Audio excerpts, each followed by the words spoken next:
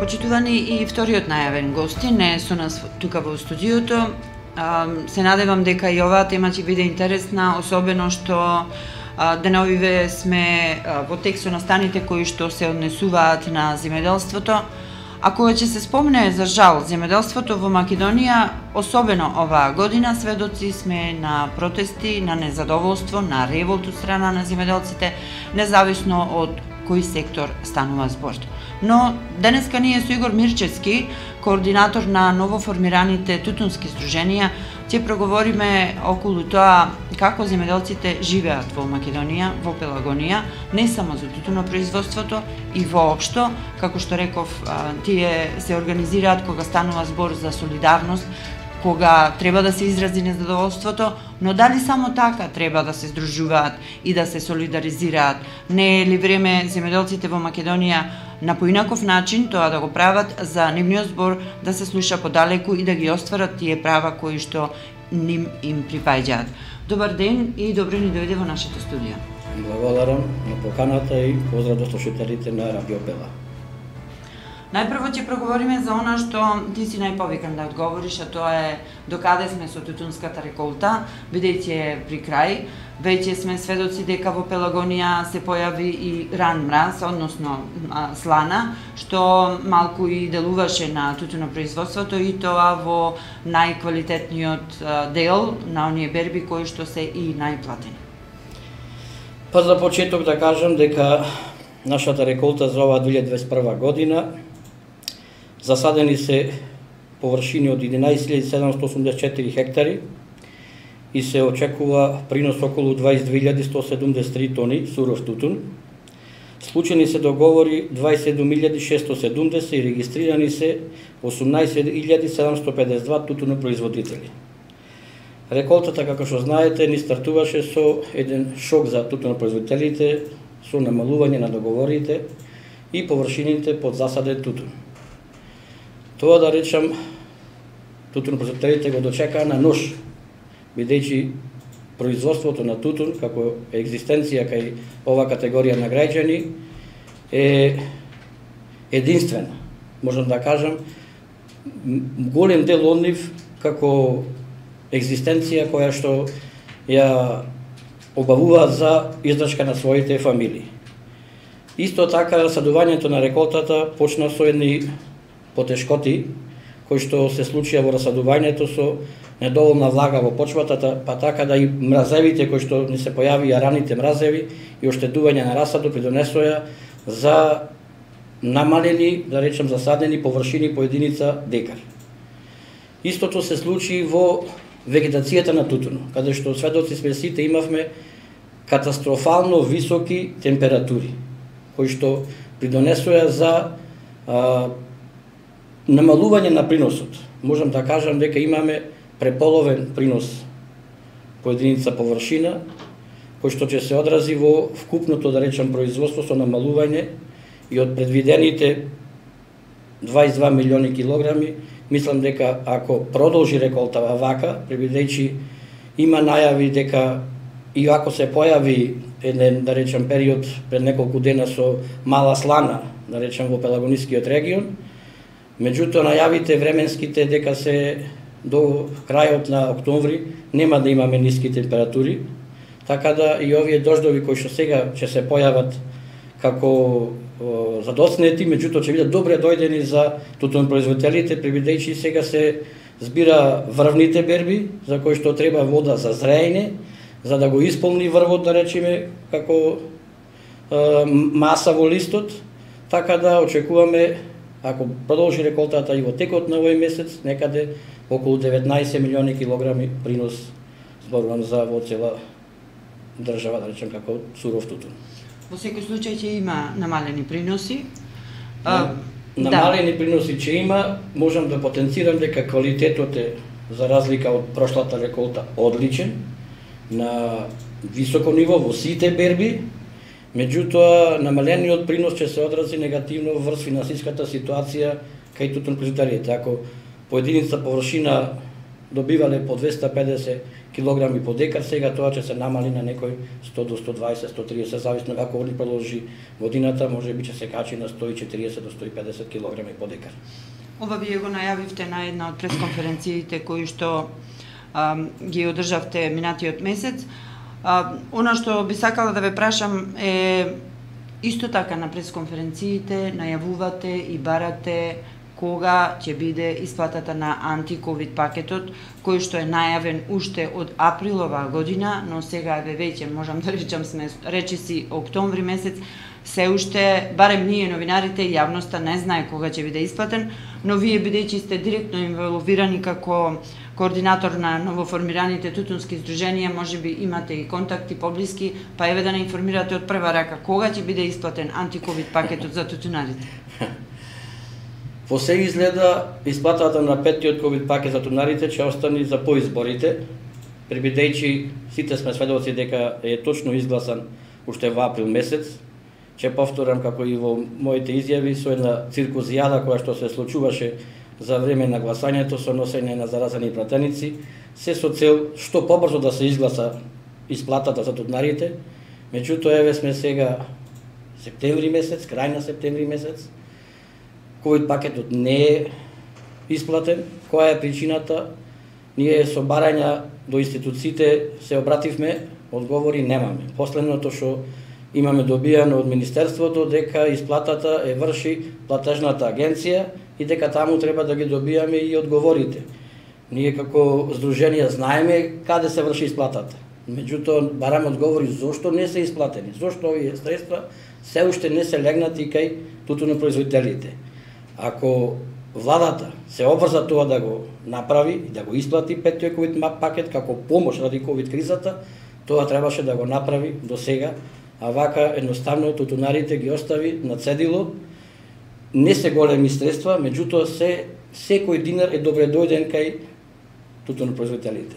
Зошто велите не се големи средства, а станува збор чинам некаде над 3 милиони евра. Сметате 5. Сметате ли заради тоа што распределбата е онаква каква што е, не се големи средства или пак едноставно а, имаше голем број на производители, стануваше збор за голема количина на произведен тутун минатата реколта? Реколтата заврши според ИСЕТ системот на 27, околу 27 милиони килограми.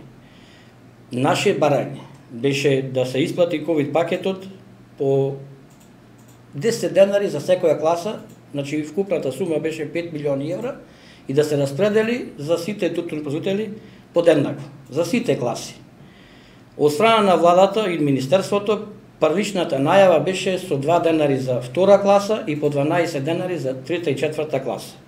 Меѓутоа, во анализата и пресметките кои што ги направивме, се дојде до една бројка која што беше 3 милиони и 6, 3,6 милиони евра, што значи фалеа милион и 400 евра во она рамка од 5 милиони евра.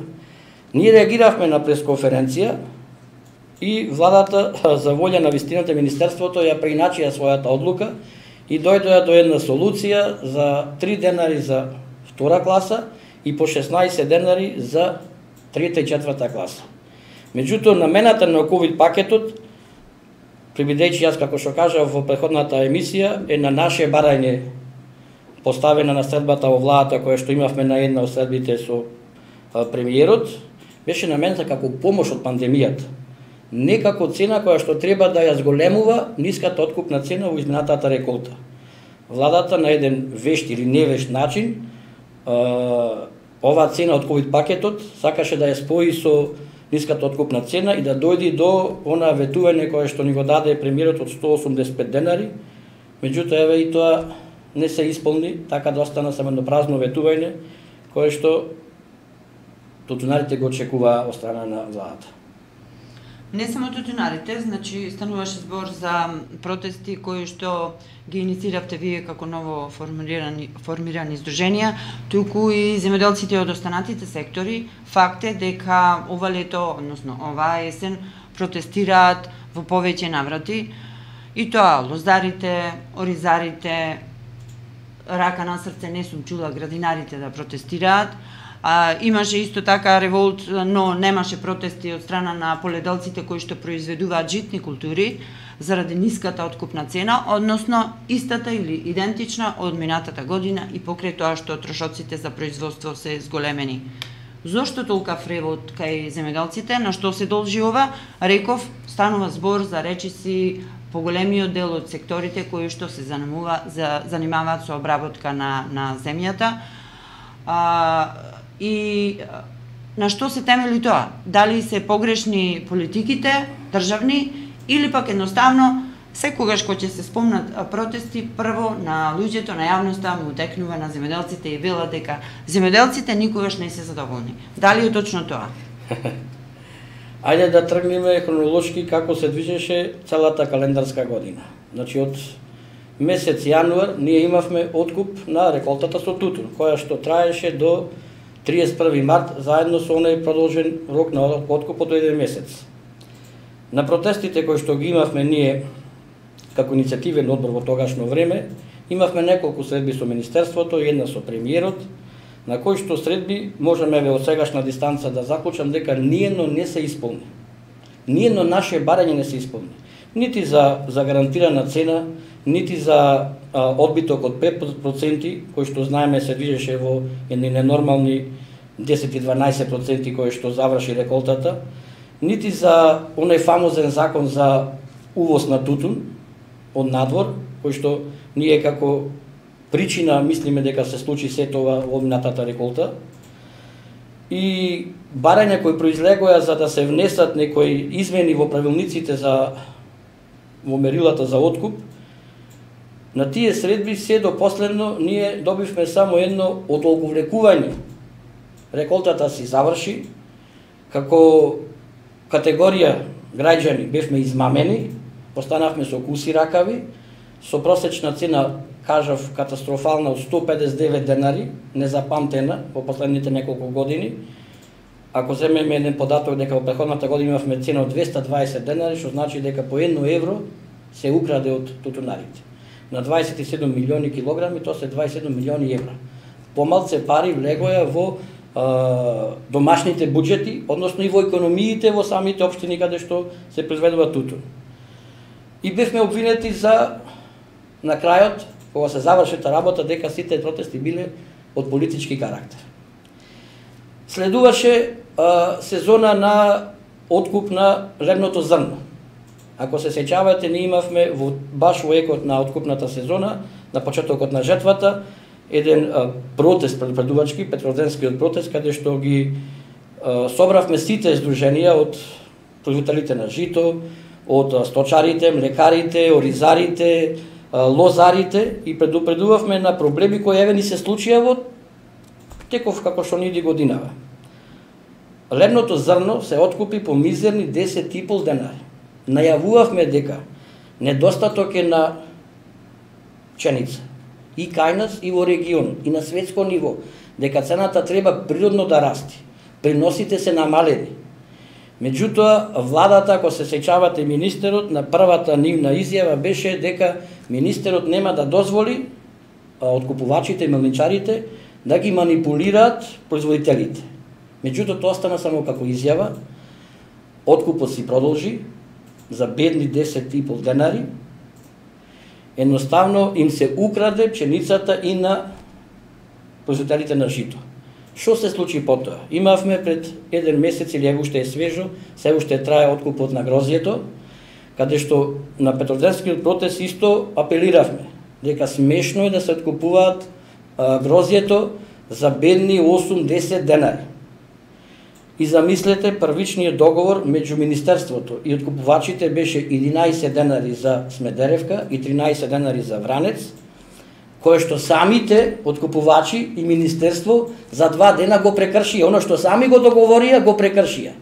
И оној ревот, ние јас најавив дека ќе имаме заедничка средба со сите овие, да речам, здруженија од сите гранки, меѓутоа нивниот ревот преку ноќ порасна и тие својот револт го изразија пред а, портите на откупувачите, односно на веријата Тиквеш.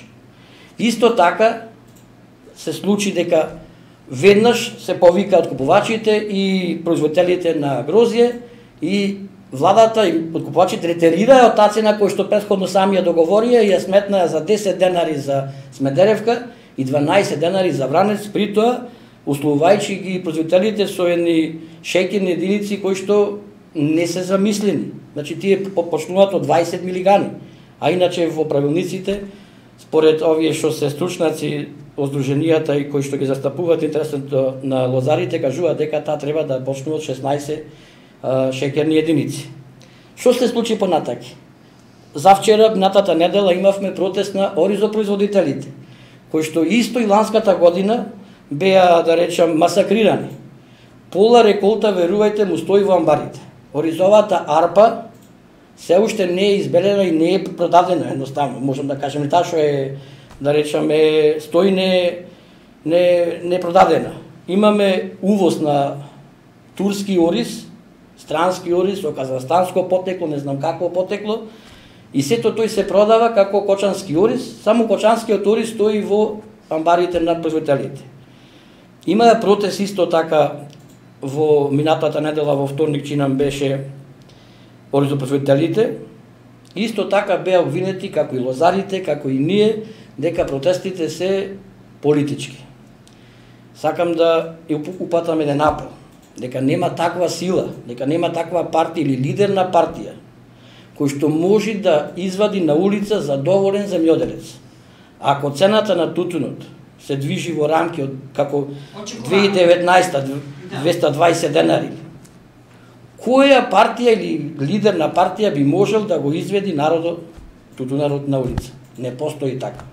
Значи тие квалификации се неоправдани и затоа ние како здруженија се одлучивме да се солидаризираме со сите, да даваме поддршка, да даваме сугестии и предлози, да се координираме, да бараме начини за решавање на овие проблеми. Ако ние не си помогнеме сами меѓу себе, јас не гледам дека некој може да ни помогне. Тоа нема да го направи ниту откупувачите, ниту па владата е заинтересирана во моментов тоа да го направи. Еве имаме една ситуација Со лебот кој ни поскапе пред неколку дена, владата излезе со изјава дека ги критикува мелничарите, на кои што претходно му дозволи да ја откупат лебното зрно по мизерни цени, ако владата сакаше да помогни на оваа ситуација, зошто не е стопира зголемувањето на лебот кој што ни се случи, веќе имаме порасната цена на лебот, а ние сме сведоци, знаеме дека штом лебот пораснува, да, ќе пораснат сите намирници, животни, ќе поскапат трошоците, ќе поскапат а, услугите, ќе поскапи превозот, едноставно инфлацијата ќе си се повлечи нагоре и ќе се зголемат трошоците за живот. И сами рековте дека се солидаризиравте заради тоа што кога незадоволството се изразува во поголем број а, членови на здруженија или пак луѓе кои што произведуваат било што во случајов од повеќе сектори, тогаш е погласно. Но јас ќе запрашам дали само тогаш треба земјоделците да се солидаризираат? Дали не е време да се размислува за организирање, да се најде модел за организирање на поинаков начин? Факт е дека во Пелагонија, во Прилепска Пелагонија, не постои нити една задруга. Не постои нити една задруга која што ги обединува земјоделците од било која бранша да можат она што го произведуваат да дојдат до финален производ.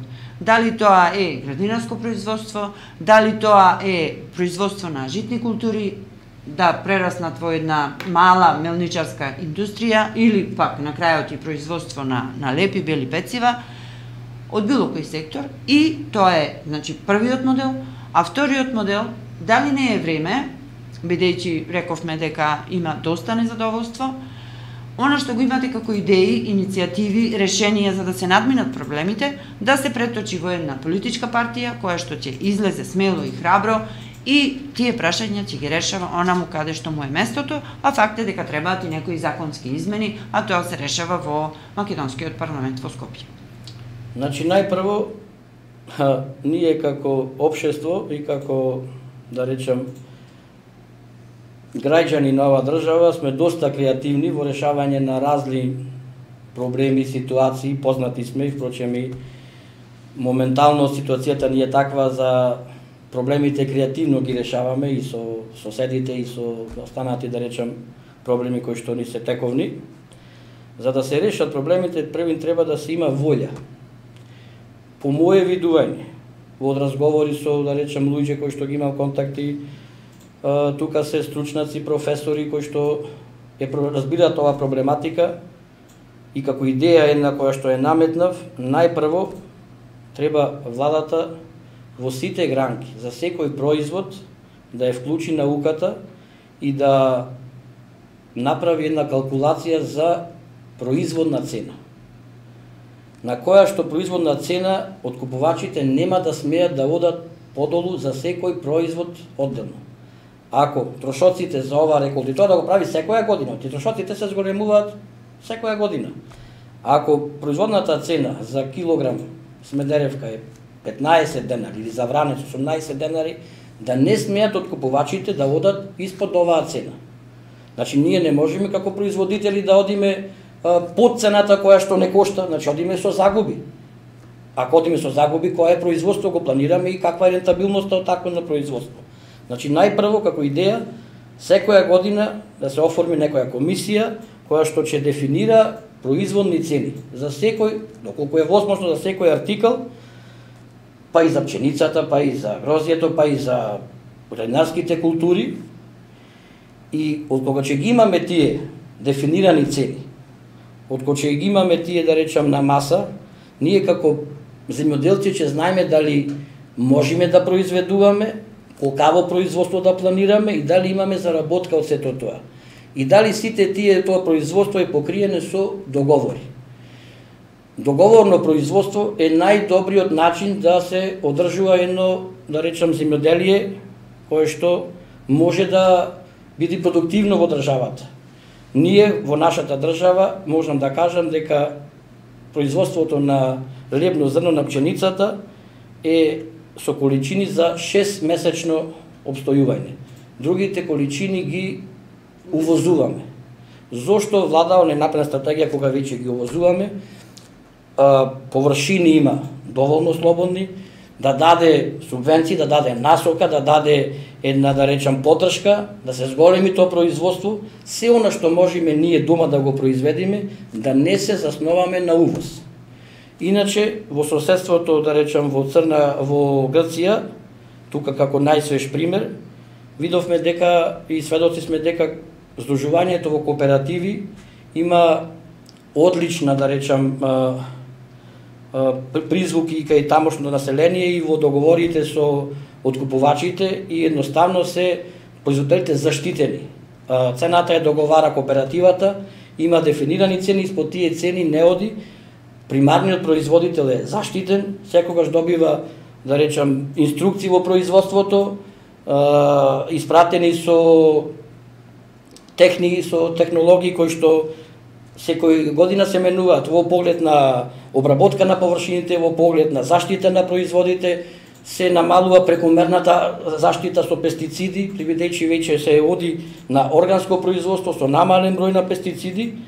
И мислам дека на таква идеја и кај нас во државата која што само е декларативно ја зборуваме, треба да заживе, а по однос на здружување Моја визија е дека најпрво би требале да се здружиме во еден земјоделски синдикат, кој што ќе биде рамноправен партнер во сите, да речем, преговори, договори со откупувачите и пред владата, пред Министерството.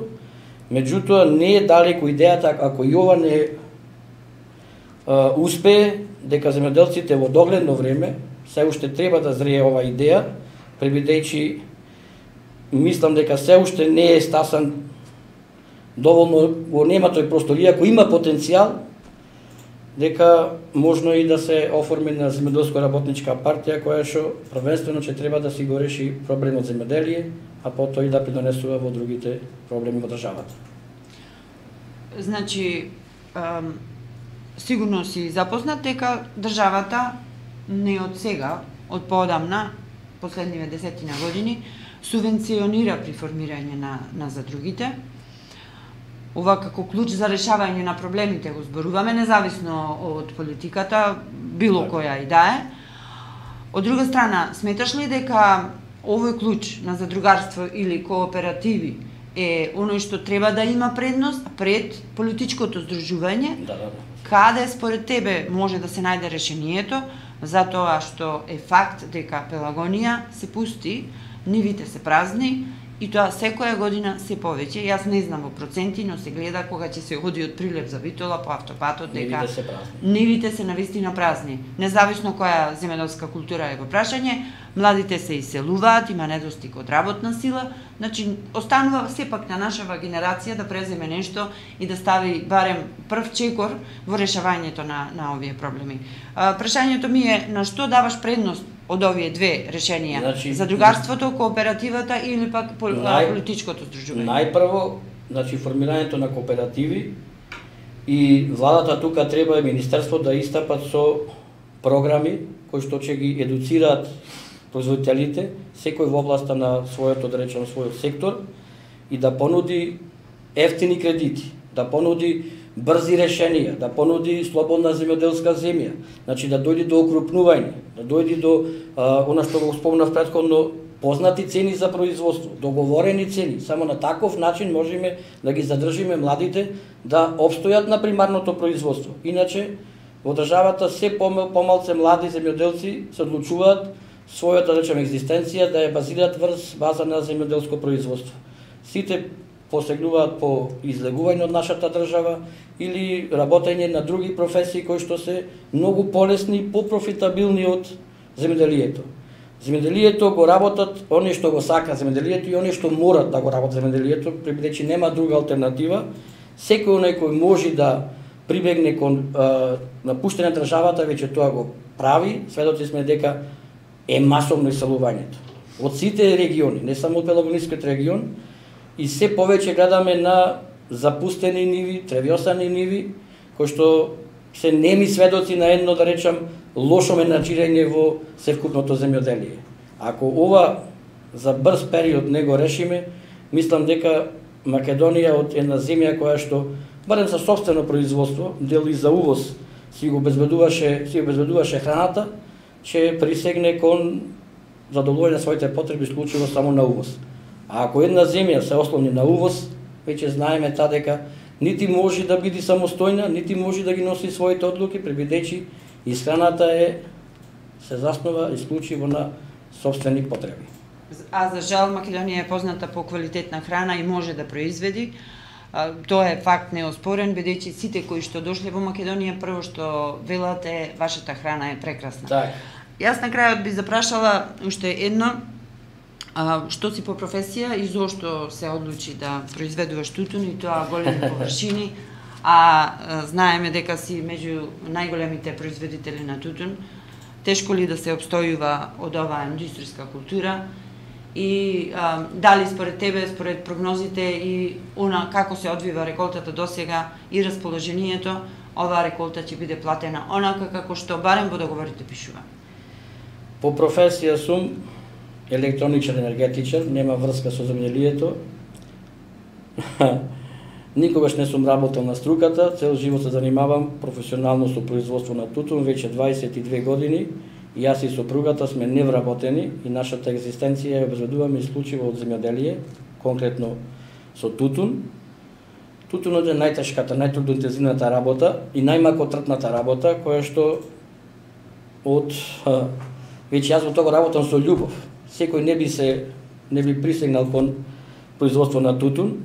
За жал после 22 години за прв пат ланската година или годин годинава не ми се случија договори за производство на тутун од познати причини. Тутунскиот комбинат ми ги откажа договорите кои што се стари по 20 години. Присегнав кон производство на градинарски култури, кон производство на пиперка ајварка, аматер во таа, да речам, во таа гранка, се борам со предизвиците, Не е тоа на ниво на кое што треба да биде, привлече сум почетник, меѓутоа се трудам да ја прехранам својата фамилија и да го безбедам екзистенцијата на нашите деца кои што се веќе на факултетско образование. А, во однос на реколтата, несомнено е дека имаме квалитетна реколта, очекуваме да речам високи цени, меѓутоа стравот и дилемата кај земјоделците, кај производителите кои со кои што контактираме е оној фамозен увоз на тутун. Да не се случи повторно да се внесе тутун во државата и нашите количини да останат во втор план или да дојдат со намалена вредност. Ако тоа се дозволи, ние ќе имаме повторно лоша реколта и покрај што имаме годинава екстра квалитет. Игор, ти благодарам. Почитувани, тоа беше разговорот со Игор Мирчевски, координатор на новоформираните тутунски издруженија, со кого што разговаравме за, состојби, за состојбите во тутунопроизводството, но и во сите оние области кои што ги засегнуваат земјоделците и сите оние кои што а, имаат намера или живеат од, од земјата, од почвата, од производството во било кој сектор од земјоделието и сточарството. Уште еднаш ти благодарам за гостувањето, ние продолжуваме со музика и наскоро се одјавуваме од оваа денешна програма Радио што се гледа.